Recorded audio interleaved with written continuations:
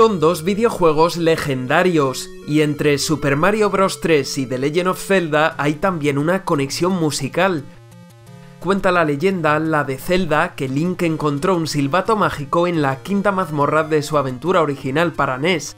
Por eso de que la música amansa a las fieras, el sonido de aquel silbato era capaz de hacer daño a ciertos enemigos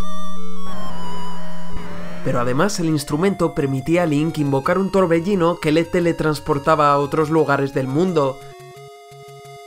Bastaba tocar siempre la misma melodía.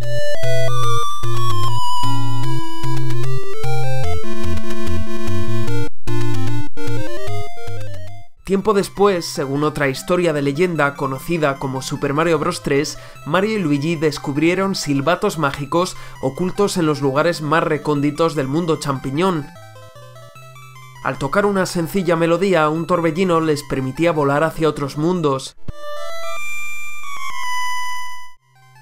Tanto la melodía como su efecto son idénticos a los de la leyenda de Link, por lo que podemos concluir que el silbato mágico que aparece en The Legend of Zelda y los de Super Mario Bros. 3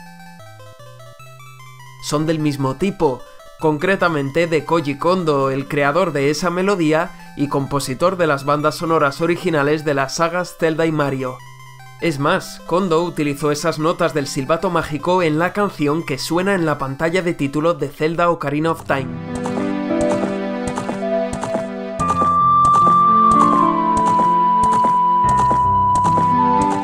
Pero el torbellino invocado por el silbato nos lleva hasta el tercer mundo de Super Mario Bros. 3, el mundo de agua, su mapa nos recibe con este tema musical.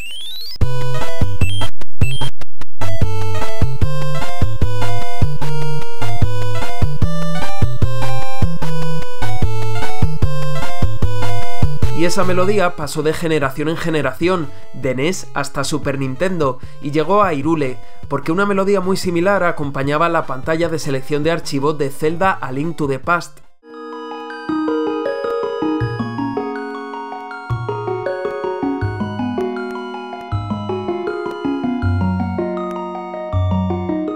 un tema que también sonaba y sanaba en las fuentes de las hadas que Link se fue encontrando en sus aventuras.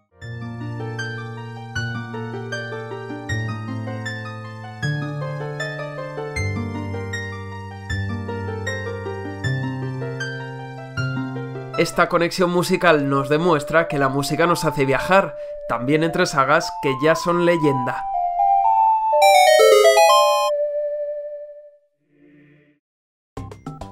Si te ha gustado este Nintendato, haz clic en me gusta, suscríbete y compártelo con otros apasionados del mundo Nintendo.